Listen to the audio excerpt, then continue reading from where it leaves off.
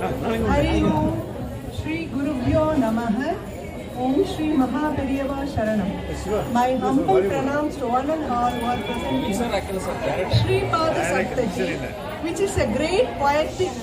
epic as well as the devotional hymns is written by Sri Merpattu Narayana Pattatri who is the author of Narayaniyam which is the Bhagavatam condensed.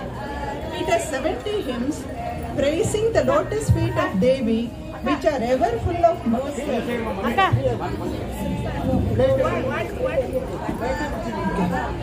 It has 70 hymns praising the lotus feet of Devi, which are ever full of mercy and compassion to bless the devotees. Sri Pattatri is known to have completely cured of his paralytic disease that he has taken from his guru, Sri to alleviate his pain and suffering even after chanting Narayaniyam, Pattatri was longing for eternal peace, bliss and mukti. That is when Lord Krishna appeared in his dream and conveyed him to go to Bhagavati temple in Mukula Melaka, which is a Muktisthala. Pattatri wrote these great devotional hymns in this Bhagavati temple. It is 29 kilometers from Guruvayur in a village called Mukkutala, Mukkolaya Kaval, which is in Mamallapuram district. By the blessings of Devi, we had the opportunity to visit this temple after learning the hymns from our Guru, Srimati Vimala Ramachandra, who directed us to visit the temple. This temple has a very beautiful and serene atmosphere. It looks like an exotic Nandavanam. It is believed that making seven pradakshana around the sanctum sanctorium of Devi is equal to one pradakshana here. There is a small and beautiful bhajan mandapa in the temple where the great musicians perform during Navaratri days. In Sripada Saptati, Sri Narayana Pattatri takes the reader to the greatest heights of Sanskrit poetry and devotion. His description of Devi's bounty of grace is exquisite and elevating.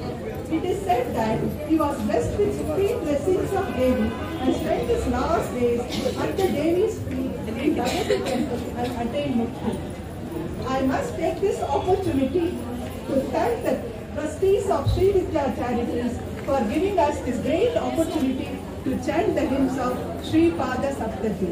Our profound thanks to our Guru, Srimati Vimala Ramachandra, who taught us this great epic work.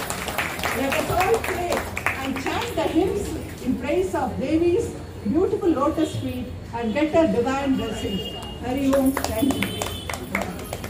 ಎಲ್ಲರಿಗೂ ನಮಸ್ಕಾರ ಆ, ಶ್ರೀಪಾದ ಸಪ್ತತಿಯು ಎಪ್ಪತ್ತು ಸ್ತೋತ್ರಗಳನ್ನು ಹೊಂದಿದ್ದು ದೇವಿಯ ಪಾದ ಕಮಲಗಳನ್ನು ಸ್ತುತಿಸುತ್ತದೆ. ಇದು ಭಕ್ತರನ್ನು ಅನುಗ್ರಹಿಸಲು ಕರುಣೆಯಿಂದ ತುಂಬಿರುತ್ತದೆ. ಈ ಮಹಾಕಾವ್ಯ ಮತ್ತು ಭಕ್ತಿ ಗೀತೆಗಳನ್ನು ಶ್ರೀ ನಾರಾಯಣೀಯಂನ ಲೇಖಕರಾದ ಶ್ರೀ ಮೇಲ್ಪತ್ತು ನಾರಾಯಣ ಭಟ್ಟತ್ರಿ ಅವರು ಬರೆದಿದ್ದಾರೆ. ಶ್ರೀ ಭಟ್ಟತ್ರಿ ಅವರು ನಾರಾಯಣೀಯಂ ಹಾಡುವ ಮೂಲಕ ತಮ್ಮ ಗುರುಗಳಾದ ಶ್ರೀ ಅಚ್ಯುತ ಪೀಠಾರೋಡಿ ರೋಡಿಯವರಿಂದ ತಮ್ಮ ಪಾರ್ಶ್ವವಾಯುಯ ಪಾರ್ಶ್ವವಾಯು ರೋಗದಿಂದ ಸಂಪೂರ್ಣವಾಗಿ ಗುಣವಾಗಿದ್ದಾರೆಂದು ತಿಳಿದಿದೆ. ಆದರೆ ಅವರು ಶಾಶ್ವತ ಶಾಂತಿ, ಆನಂದ ಮತ್ತು ಮುಕ್ತಿಗಾಗಿ ಹಂಬಲಿಸುತ್ತಿದ್ದರು. ಆಗ ಭಗವಾನ್ ಶ್ರೀಕೃಷ್ಣನು ಅವರ ಕನಸಿನಲ್ಲಿ ಕಾಣಿಸಿಕೊಂಡು, ಮುಕ್ಕೋಳದ ಮೇಲಕ್ಕನ ಭಗವತಿ ಮುಕ್ತಿ ಸ್ಥಳ ದೇವಸ್ಥಾನಕ್ಕೆ ಹೋಗುವಂತೆ ತಿಳಿಸಿದಾಗ, ಅಲ್ಲಿಗೆ ಹೋಗಿ ಅವರು ಶ್ರೀಪಾದ ಸಪ್ತತಿಯನ್ನು ಓದಿದರು.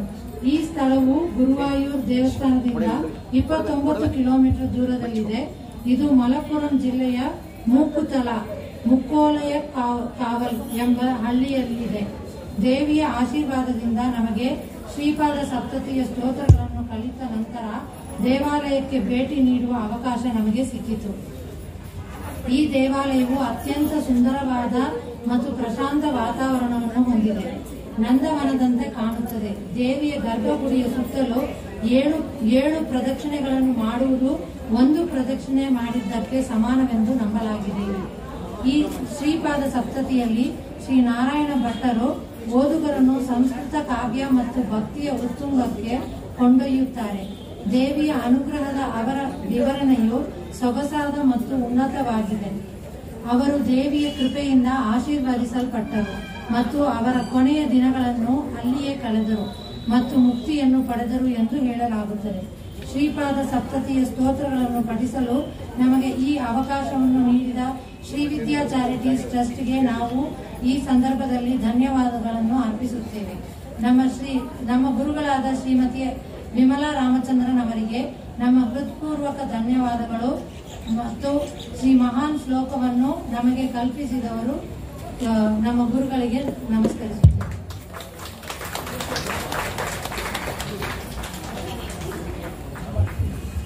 श्रीकान्तो मातुलो यस्य जननी सर्वमङ्गला जनकशङ्करो देवः तं वन्दे कुञ्जराननम् सर्वमङ्गलमाङ्गल्ये शिवे सर्वार्थसाधके शरण्ये त्र्यम्बके देवी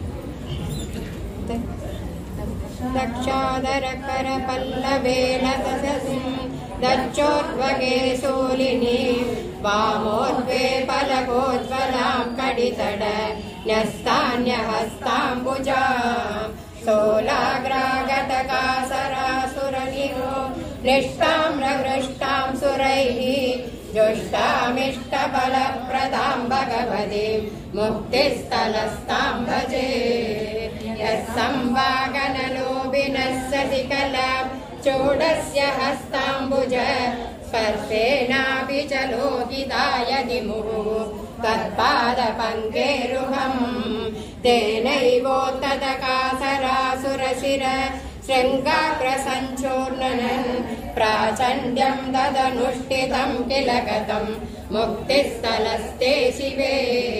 तत्पादं निजमस्तके कटयितुम् के के नु लोके जनाः? किं किं न रचयन्ति दुःसरदप सर्यासपर्यादिकम् मन्येदन्यतमं तु देवि महिषम् वैरस्यैव त्वया यन्मूर्ध्नि स्वयमेव पादकहरम् भक्ताम्बुजम् पादितम् तत्पादाम्बुजमर्पितम् पनुशिवे किं नु त्रयी मस्तके नित्यम् तत्त्वविचार तत्तमनसा चित्ताम्बुजाग्रेषु वा त्वत्प्रणय प्रकोप विनमन् मारारिमौलिस्थले किं प्रोत्कण्डितघोरसैरिपमः दैत्येन्द्रमूर्धान्तरे त्वत्पादाञ्जलरूपकल्पलदिकाम् बालप्रबालत्वयम् एतावत् कलयन्ति जातु शिरसा। नम्रेण कम्रोज्ज्वलम् तेषामेव हि देवि नन्दनवन क्रीडासु लभ्यम् पुनः स्वल्पैलीकरुणप्रबालभरणम् सेवानुरूपम् फलम् तावल्यम् परिलाल्यते पुररिभोः अङ्गेण दुङ्गश्रिया किञ्जस्यामलिमापि कोमलतरे वादेव गात्रे हरे ममापि जनयेति हस्तोकसेवारसा आरुण्यम् तव लीयते चरणयोः कारुण्यमूर्ते शिवे आरुण्यं यदिदं त्वदीयपदयोः आपादिदर्केशन प्रागुत्तुङ्गनिदम्बपारपरण कान्द्यागिलोपागतम् अन्ये मागिषमूर्तिवेषमिलितं रक्तक्रवं मन्वते मन्येवं तु नदेषु सान्द्रमनुरागोत्कारमेव नयो प्रागुत्पद्मसमाश्रयं सदधृतिं त्वत्पादपद्माश्रयाम् अन्धत्वत्पदपद्मवीक्षणवसात् कृष्णो विवद्वेक्षणः यत्पद्मार्चनमामनन्दि सुधियो दारिद्र्यविद्रावणम् मुक्तिक्षेत्रगदे भवानि तदपि त्वत्पादपद्मासनम् पादं ते सररीरधुमिमम् यत्सेवते पद्मभूः नूनं तत्स्वनिवास पङ्कजवर श्रीरङ्गनासङ्गया गोविन्दोऽपि सवारिरासिदुभिर्वासाब्जबाधापि य स्वस्वैवाग्रकरोद्गृहीत कमल त्राणाभिलाक्षेण वाम् सेवन्दे कुलसम्पदेन गमयाः सीतां सवस्पत्पदम् अन्येषु सीतांसुषु एको बालक एव मौलिमयिते यादोललाडात्मधा अन्यो निर्मलमण्डल कौरम् पादसहस्रकम् प्रकटयन् आशासु वासाम्भदेर्द्वान्दम् नो पुनरान्तरम् समयितुम् शक्नोति शैलात्मजे। त्वत्पादद्विदयेन कोमलतरेण आनेन सेदस्पृशा चन्दोनाम् बहिरन्दरन्दतमसम् कृन्दद्यनन्दम् शिवे।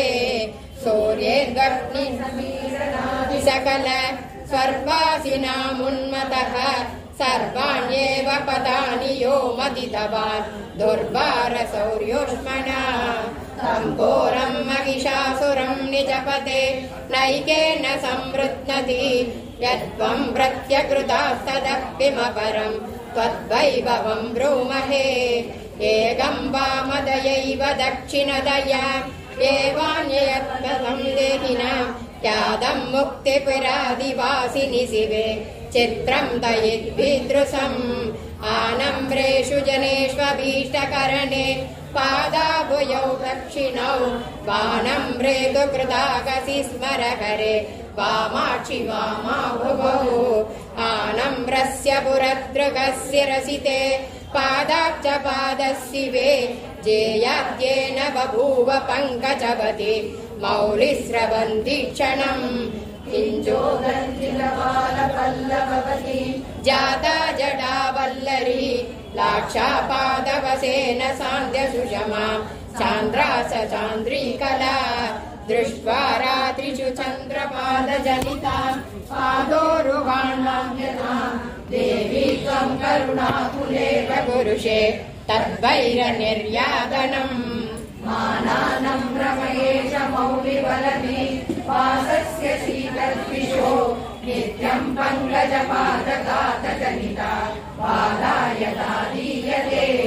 सम्भ्रान्तिस्तव देवि सा विजयते मानावनम्रे शिवे त्वत्पादाम्बुरुह प्रकारमुदिते मन्दम् समुद्धायिनी।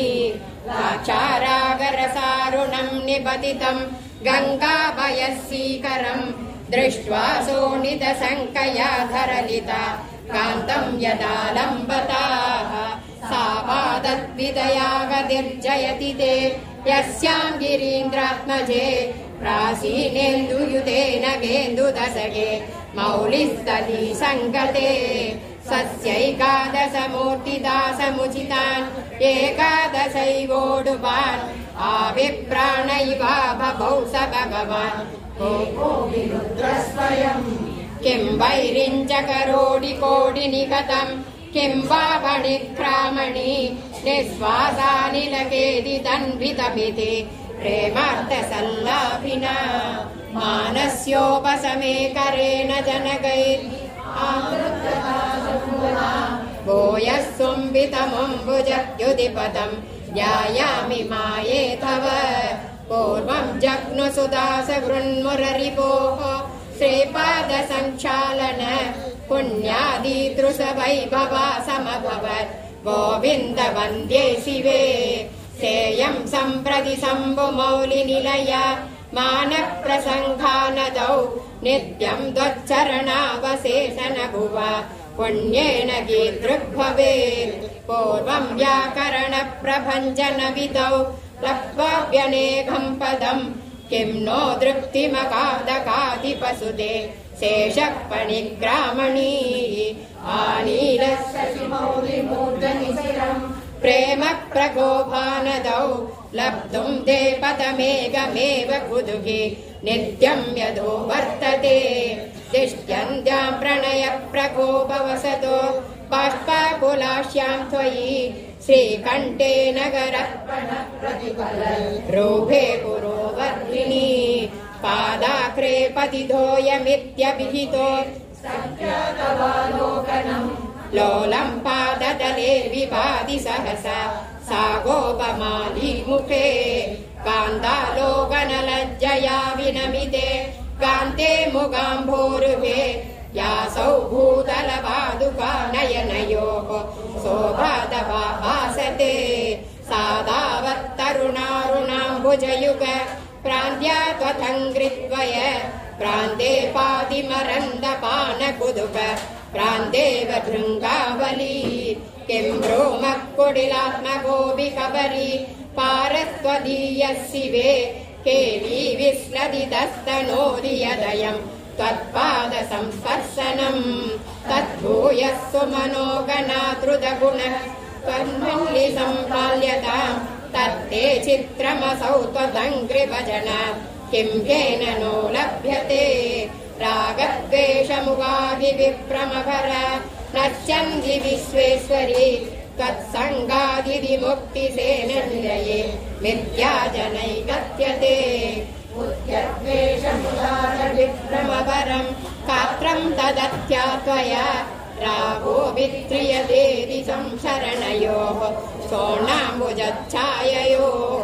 देवी त्वत्पदसत्परागमनिशम् मौलौ समाभिप्रदाम् साधूनामपरागतैव भवति व्याचर्यमास्तामितम् पादस्ते नगर प्रभावलसितो जागर्ति सोऽयम् पुनः चित्रम् नामगर प्रभावलसितो दुष्टासुरम् विष्टवान् त्विद्वेन स्थितियो त्वदीयपतयो द्वैतम् निरस्य स्फुटम् कैवल्य प्रतिपादने कुशलता जायेदि कोऽयम् क्रमः किं वा युक्तिविरत्र मुक्तिकरदा व्यक्तैव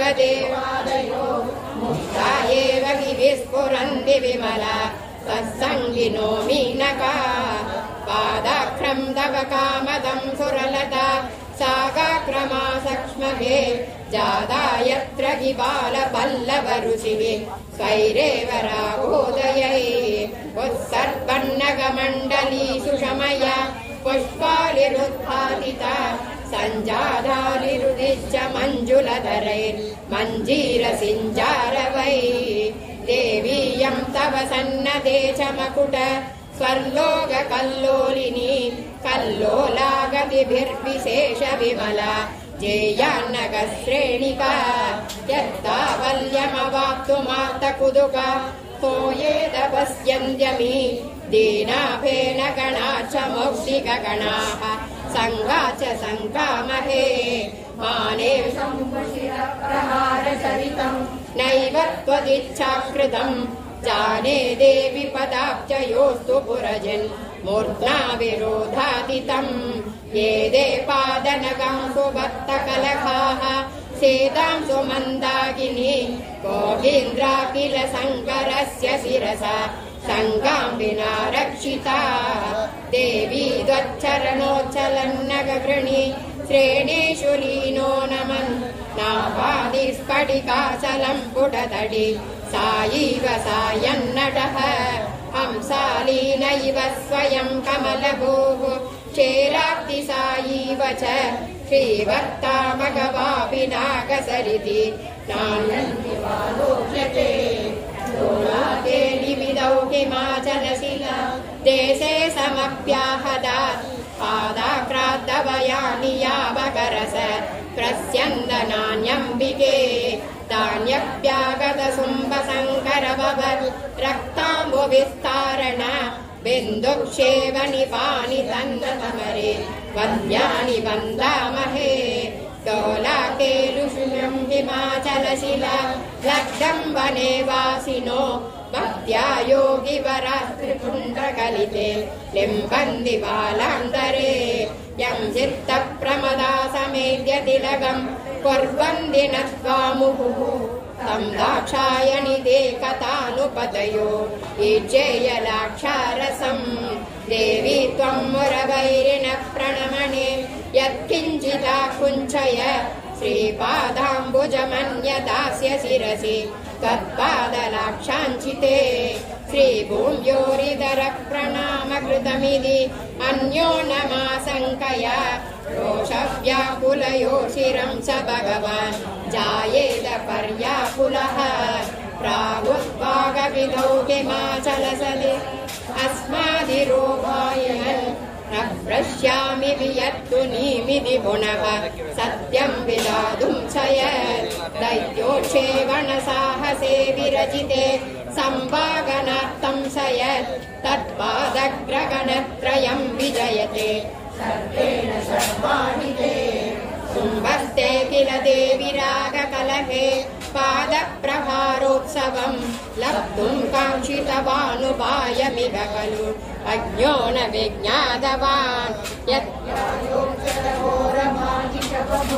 दारी स वैरी ततः प्रागानिश्च्यतमूर्ध्निकोमलरुष पादारविन्देन ते आनम्रे गिरिसेवदप्रहरणे तत्ते भवत्यारुष। नादे किम् मगिशोहमित्यभिहिते देवेन तस्मिन् क्षणे। आलिष्वाकलिदस्मिदासु पुनरपि उत्तामभुष्यतृष तन्मौलौ जयति त्वदीयमभिते।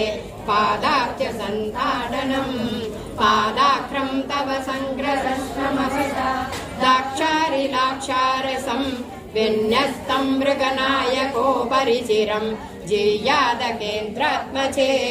यत्काञ्जैव च लोहितो मृगपतिर्दैत्यप्रहारोत्कल रक्ताम्बकणिकावगन्न तथा नायामि नैवालिम्बनिलिम्बमूर्तसुभा सिंहो बलिध्यज्यताम् मासेदम् महिषस्य मूर्तिरवस आलिभ्य लोलुभ्यताम् भक्त्युर्मौलिनधी जले परमितम् लङ्क्षालनीयम् त्वयेति आलीकेलि गिरो जयन्ति गिरिजे त्वत्पादलाक्षार्पणे न त्वैव प्रथमम् त्वदङ्घ्रिकमलम् तौ पुष्पबन्धावुभौ त्रैलोक्यम् मगसा विभूय सरतो व्योमान्तर प्रान्तरे नाथेदौ कदमन्यथा परिकल लाक्षार साक्षालितौ वीक्ष्येदे प्रसरोणि बिम्बमुदया अम्बे प्रियम् बाहुभौ त्रैलोक्यम् वसयन्ति पापपटलीम् उच्चाडयत्युच्चकैर्विद्वेषम् प्रस्थम् व्यापतः आगच्छन्यपि वाञ्छितानि मगिष सर्वैरिणो मारणाः। चित्रम् त्वत्पदचित्तचूर्णनिवहाः। षट्कर्मणाम् साधका। किम् कल्पद्रुमपञ्चकम् प्रणमत। आकाङ्क्षिता भातने किम् पञ्चायुधपाण पञ्चकमिदम् सम्मोहने। सूक्ष्मम् किञ्चन पञ्चभूतवपुषो। विश्वस्य किम् कारणम् त्वत्पादाङ्गुलिपञ्चकात्मकमिदम् किम् वादि सम्भो प्रिये? लोलाकेलिषु दूरदूरगमने। त्रिङ्गोलनाभिभ्रमे भेदिन्यामनिपादितम् जयति ते। नादे पदाम्बोरुहम् भक्त्या कानाम् हृदा मूर्छया भो वृष्टे शिरमायिनां दिविशताम् आकट्टना सात्वसा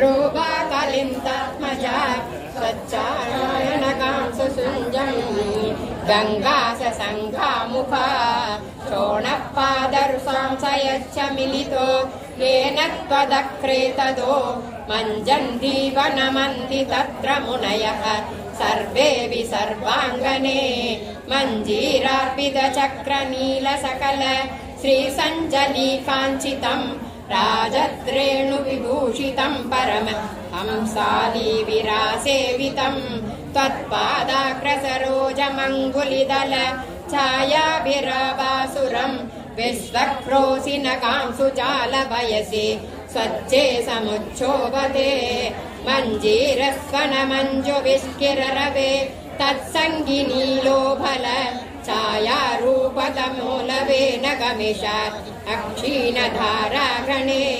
सन्ध्यारागनिवस्वकान्तिपटले त्वत्पादमूलात्मक प्रत्यूषोपगमे गिते विलभते लोकप्रबोधोदयम् लोकप्रबोधोदयम् लोकप्रबोधोदयम्।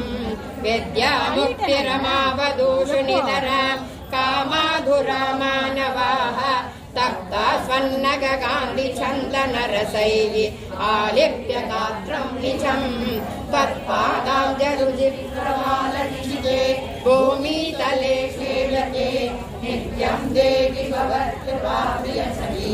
विश्वासः केवलम् मन्दिरैक्वनिदश्चिमन्निव मुहुः श्रीमन्नगांसोत्तमैः दैत्येन्द्रम् बृहसन्निवारुणरुचा पृष्यन्निवास्मै वृशम् धीरायाम् त्वयि निर्विकारमनसि त्वत्पादयेव स्फुटम् पुष्पन् वैरिविकारमेषमगिष त्वंसी परित्रायताम् क्षिप्रम् देवि शिरस्पदेशम् पिष्ट्वा ददोदपदम् दित्सन्ध्याम् त्वयि कण्ड पञ्चनभिय कण्डीरवे विधृते मेदिन्यामपि भीतिकम्पितदनौ प्रेमवराशालिना सर्वेणैव निजाङ्गसीम्नि निगितम् पादद्वयम् हे जयेत् पूर्वम् देवि पदाम्बुजेन महिष प्रध्वंसनाव्यासतः विजयोऽपि एवम् कृतः किम् त्वया? कथम् कुसुमविजयी पादाब्जते सोऽयमिति आलाभे गिरिशस्य तद्विजयते मन्दस्मितम् देविते विप्राणे मञ्जुत्वनन्नूपुर शेषालङ्कृतिशालिना जातः प्रसादश्रिया एकेनैव पदेन देवि महिष त्वंसे मगीयस्तरः शोभयम् रसिदस्वयेति विभुताः। संश्लोकनम् कुर्वते त्वम् सम्भोर्मगिषी भवस्य कसुते। तेनो बहाहायते दैत्योऽयम् मगिषी भवन्तुपगतः सोऽयम् कथम् क्षम्यते यत्तम् नो वरनिस्वनैरिव वदन्। पादस्वदीयोरुष सत्प्रग्रह्णणः पुरैव मगिषम् विष्णन् परित्रायताम्। देव्या पङ्गसयोज्यकोऽपि मगिष सत्मामगान् कण्टकः पादेनागदयित्युदूढहसितम् सख्या समावेदिते। सत्यः कण्डकशालिना करदले। आसाद्य पादाम्बुजम् गृह्णन्नास्ति विनोदनाय गिरिशो जेयाप्रियस्ते शिवे त्वत्पादाङ्गुलिपल्लवैरगसुते। देवि स्वयम् पञ्चभिः पञ्चत्वम् कमिदो महासुर इति स्वात्मानुरूपम् कृतम् एतैरेव नदो जनस्कृतसदा नीतो मगे सः पुनः लक्षत्वम् कमिदः प्रसूनदनुषो विस्मावनम् तत्त्वयम् प्राग्मम् मागवनम् सपागनमो मन्दैर्गदैर्निन्दितम् तावल्येन न गद्विषाम् विगसितो। बाहोऽपि माहेश्वरः इत्थम् वागनवैरिताम् भजति ते। पादस्ततो मन्महे कात्यायन्यमुनान्यकानि महिषः कात्यादवाह प्रमा हेमन्तः प्रकरे सुरेन्द्र सुदृशा सिन्दूररेखात्मना माणिक्यत्युति सञ्जयैव मकुटि कोडीषु दैत्यगृहा। सम्भोर्मूर्ध्निजडागडारुणरुचि व्याजेन पादप्रभै वैगाधे परिणामदेति करुणा। मूर्ते गिरीन्द्रात्मजे नो केशः परमाश्रयः सुमनसा पादाब्जरेणुसदे नो मन्दारसिता परम्। मञ्जीरयोगद्वयी नो बाहुः कलहम् समेत्य जयति।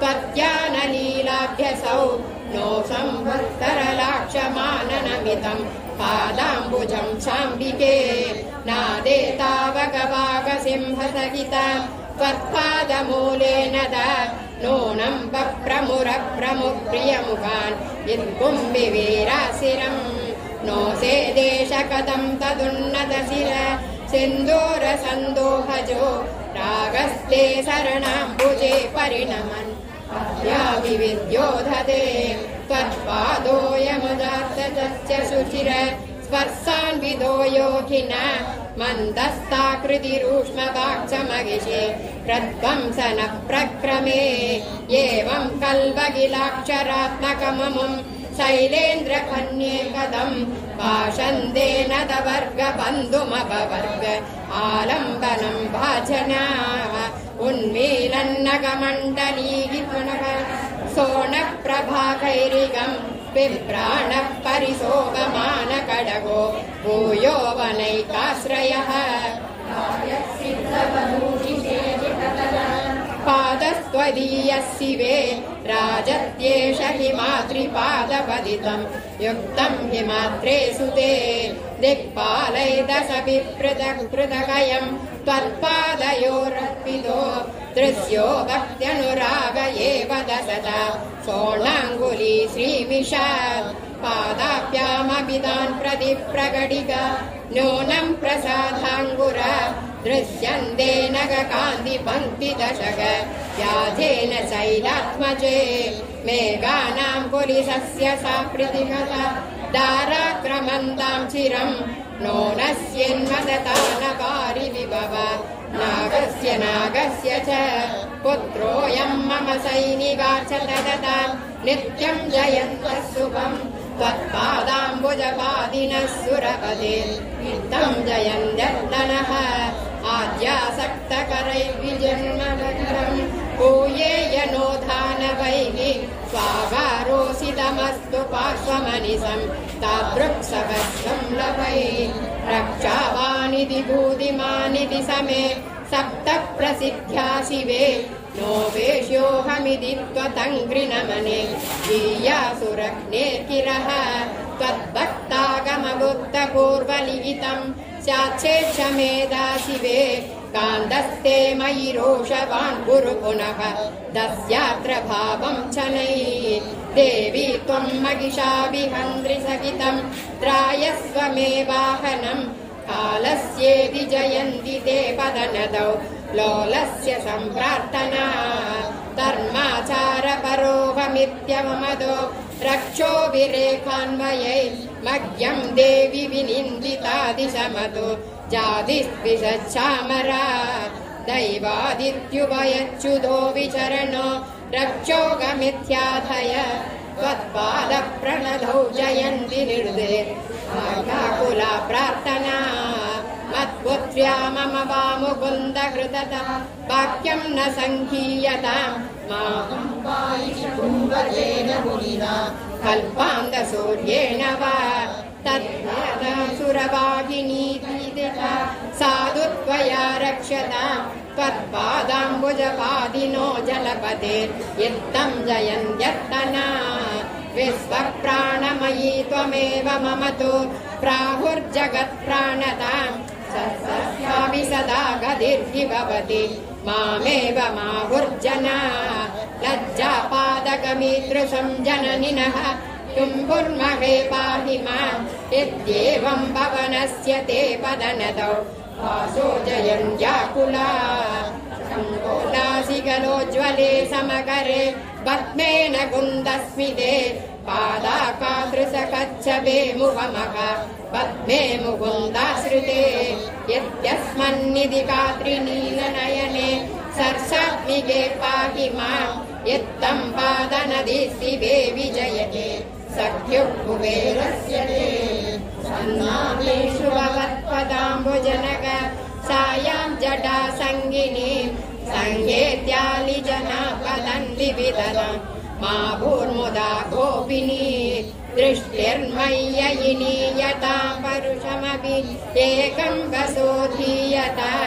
ईशानस्य भवानि ते पदनदौ यत्तं जयन् यत्तना नाभीदो भवमादिदस्तव बलात् पश्चादभीदोऽस्म्यहम् रक्षेण त्रिमुखीकृतोऽपि चतुर स्योगम् तवैव विश्वात्मदयो गजन्य पुनः स्रष्टारमाख्याहि माम् यत्तं देवि जयन्ति ते पदनदौ वाणीपदे वाणयः आसीरस्ति मुखे विडम्बयति माम् गोयोऽपि सासि स्पृहा। भोगासन्धि सहस्रदा पुनरगम्। भोगान् कदम् प्रार्थये। शेषोऽहम् स्पृगयां च शेषसुखमिति एतच्च हासास्पदम् नादे चिन्तय सर्वमित्यधिपते त्वत्पादपादे जये पार्वत्या पदमत्र दृश्यमिति वा पादे भवद्भेन वा साधुत्वादुपास्तयेति तदया मध्यान्यमूनिस्फुटम् सैषा मुक्तिपुरी गिरीन्द्रतनया भक्तेन नारायणेन आवत्ता खलु सक्तधिर्दिशतु वः कल्याणहल्लोलम् कल्याणहल्लोहरम् कल्याणहल्लोहरम् सर्वमङ्गलमाङ्गल्ये शिवे सर्वार्थसाधके शरण्ये त्र्यम्बके देवी नारायणि नमोऽस्तुते सर्वमङ्गलमाङ्गल्ये शिवे सर्वार्थसाधके शरण्ये त्र्यम्बके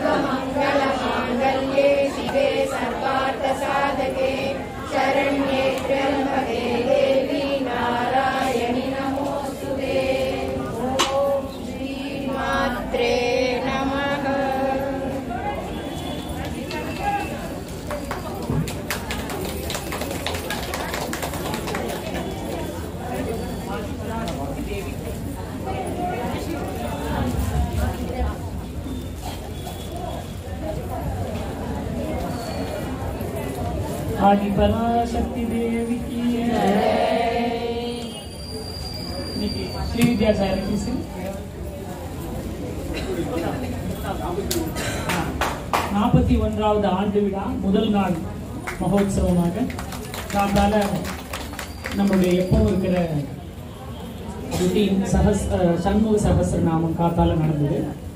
அப்புறம் சுவாசினி பூஜை வெள்ளிக்கிழமை எப்பவும் நடக்கிற மாதிரி நூற்றி அறுபத்தி எட்டு பேர் காத்தால ஹோமம் கணபதி ஹோமத்தோட ஆரம்பிச்சு மிருத்யுஞ்சய ஹோமம் முடிச்சு சண்முக சஹசிர ச- சஹசிர நாமம் முடிச்சு அப்புறம் சுஹாசினி பூஜை நம்மளுடைய ஹைலைட் ஈவெண்ட் எப்போ? நூற்றி அறுபத்தெட்டு பேர் அன்னைக்கு நூற்றி அறுபத்தெட்டு பேருடைய சகஸ்ரநாம அர்ச்சனை ஹைலைட் எப்பவும் அது ஆனால் இந்த வருஷம் அது ஹைலைட் இல்லை.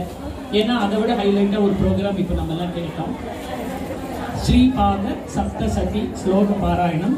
விமலா ராமச்சந்திரன் மாமியுடைய தலைமையில் பதினஞ்சு பேர் எண்ணின பதினஞ்சு பேர் படித்தா ஒரே குரலா. தனித்தனியாக தனித்தனியா ப- ஒருத்தர் ஒருத்தர் ஒரு ஒரு பக்கம் ஒரு குரூப்பில் ஒன்று சொல்றதுன்றது எவ்வளோ கஷ்டம்னு எல்லாருக்கும் தெரியும்.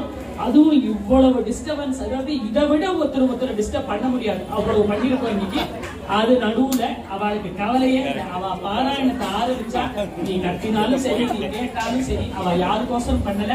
அவ அந்த சாட்சாத் அம்பிகைக்கோசரம் கோசம் பாராயணம் பண்ணா.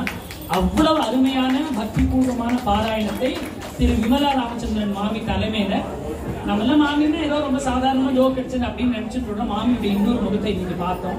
அதனால மாமி நிறைய பேரை இந்த மாதிரி சத்சங்கத்தில் ஈடுபடுத்தி அம்பிகையோட அருளால இன்னும் நிறைய பரப்பணும்னு எங்களால் முடிஞ்ச ஒரு சின்ன கிட்டத்தட்ட மாமியுடைய குழுவினருக்கும் மாமிக்கும் திருமதி தாரிணி அவர்களை மாமிக்கு மரியாதை செய்யும்படி அழைக்கிறேன்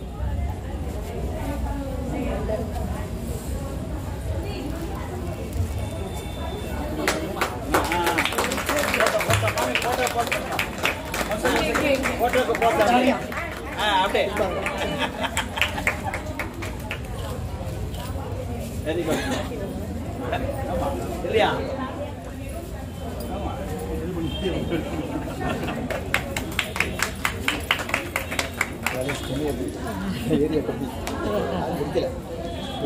ஏரியா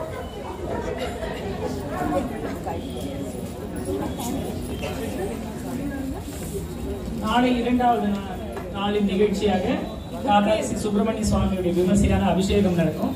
அப்புறம் சாதுராம் சுவாமியுடைய ஆராதனை நாளைக்கு. திருப்புகழ் பஜனை. சாயங்காலம் ஞானானந்த பக்த பஜன மண்டலி சென்னை அவர்களுடைய நாம சங்கீர்த்தனம்.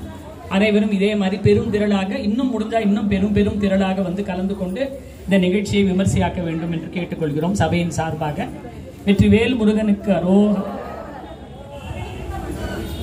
கீழே டிஃபன் ஸ்நாக்ஸ் ஏற்பாடு பண்ணிருக்கோம் தெரியாதவா தயவு செய்து அதை மிஸ் பண்ணிடாதீங்க. கீழே போய் அதையும் முடிச்சுட்டு நல்லபடியா எல்லாரும் உத்தரவு வாங்கிக்கிறோம்